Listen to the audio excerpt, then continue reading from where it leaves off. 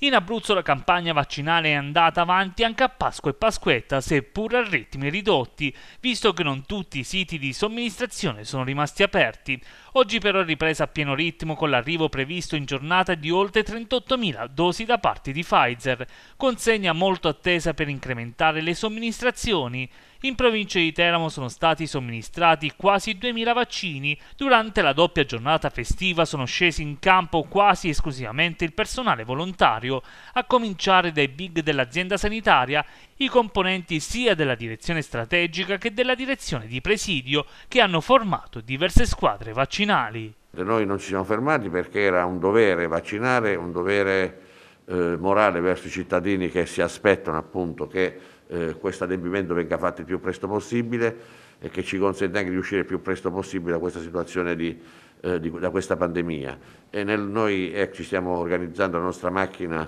la stiamo perfezionando in maniera tale che per, se arriveranno i vaccini nel mese di aprile riusciremo a, a, compiere un buon lavoro su tutto il territorio provinciale. Aprile segnerà un cambio di passo, ma servirà, segnerà un cambio di passo anche i mesi di maggio e giugno perché la popolazione da vaccinare è tanta e quindi dobbiamo correre e per correre ci vogliono sia l'organizzazione di, tutto, di personale necessario per fare vaccinazioni e questo il fatto che siano intervenuti anche i medici di base rafforza l'organismo vaccinale e dopodiché ecco, è importante il fatto che arrivino i vaccini perché per,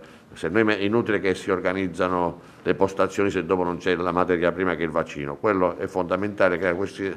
tutto quello che serve eh, per far sì che in, in breve tempo riusciremo a fare tutto quello che bisogna fare per vaccinare la gente.